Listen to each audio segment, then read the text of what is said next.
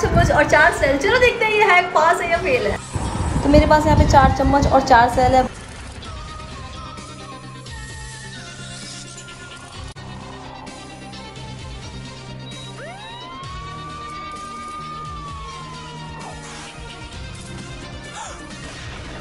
तो मैंने सारे स्पून को शेप में रख दिया उसके ऊपर रख दिया एक एक सेल अब देखते हैं ये कॉइन बीच में जाके हवा में उछलता है या नहीं। गाइस आपको क्या लगता है? क्या लगता है?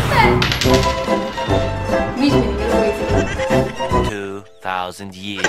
Tata, goodbye. Gaya.